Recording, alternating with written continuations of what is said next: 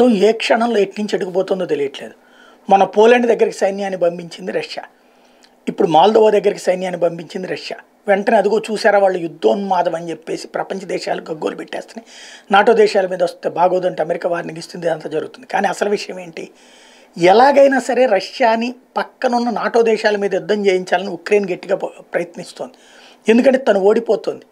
మిగతా వాళ్ళని రమ్మంటుంది తోడు. మిగతా వాళ్ళు యుద్ధానికి కలిసి రావడానికి సిద్ధంగా లేరు. నాటోలో నువ్వు భాగస్వామివి కాదు కాబట్టి నీకోసం మేము యుద్ధం చేయలేమంటున్నాయి ఇదివరకటి రష్యాలోని భాగాలయ్యి ఇప్పుడు నాటోలో సభ్యత్వం పొందినటువంటి మాల్దోవా లాంటోళ్ళు పోలాండ్ లాంటోళ్ళు.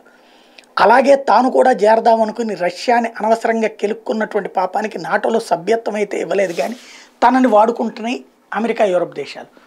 ఆ ట్రాప్లో నుంచి బయటికి రాలేక అలాగని పోలేక తల్లడిల్లిపోతున్నటువంటి ఉక్రెయిన్ అధ్యక్షుడు ఎదురు గేమ్ని ప్రారంభించారు. అది అమెరికా యూరప్ దేశాలను ఎట్టయినా యుద్ధంలోకి రమ్మంటున్నాడు. వాళ్ళు రామంటున్నారు. నాటో దేశాలనన్న చేతనన్న చేయించమంటే కుదరదంటున్నారు కాబట్టి మొన్న పోలెండ్లో ఒక ప్రాంతం మీదకి రష్యన్ మిస్సైల్స్ని పంపించి అదిగో నాటో దేశం మీదకి యుద్ధమని ప్రచారం చేశాడు.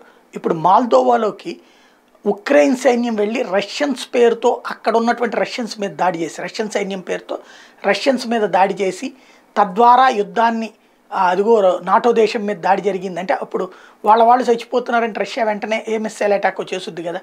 అది చేయగానే అదిగో నాటో దేశం మీద దాడి చేసింది. పదండి మీరు అందరు కలిసి యుద్ధానికి వచ్చేయండి అని చెప్పి చెప్పాలన్నది ఉక్రెయిన్ అధ్యక్షుడి ఉద్దేశం.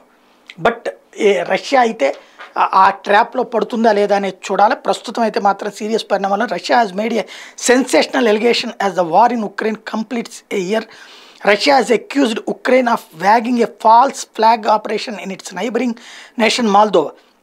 Russia claims that Ukraine is planning to wage a war in the uh, tiny European nation's breakaway region, uh, Transyoia, where the Russian uh, peacekeeping mission is in force. The Russian Defense Ministry said it has proof of Ukraine military buildup along the border.